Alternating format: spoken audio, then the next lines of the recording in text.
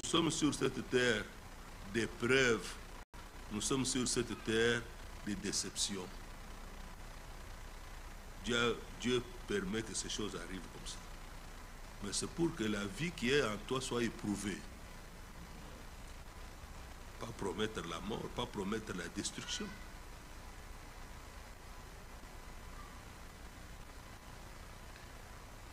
Bien-aimé dans le Seigneur, le Golgotha a été un lieu de sacrifice. Lorsque vous vivez pour les autres,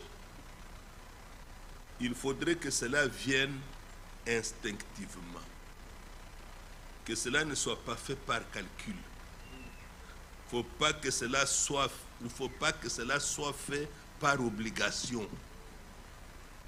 Oh, frère, vous ne pouvez jamais apprécier le ministère prophétique que Dieu a donné à Frère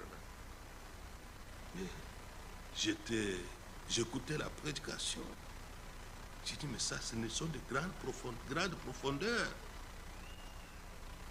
Ne faites pas des choses par obligation. Faites des choses.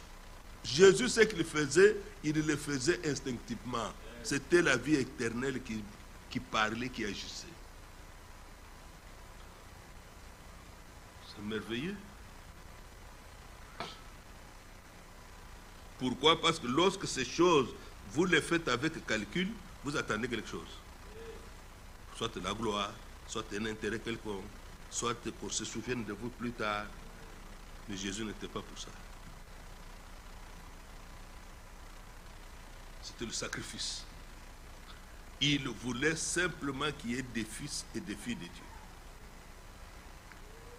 Et ça, c'est merveilleux. Il a dit dans les prophètes, jette ton pain sur l'eau et il te reviendra. Mais ce n'est pas nécessairement par celui à qui tu as donné. Ça te reviendra.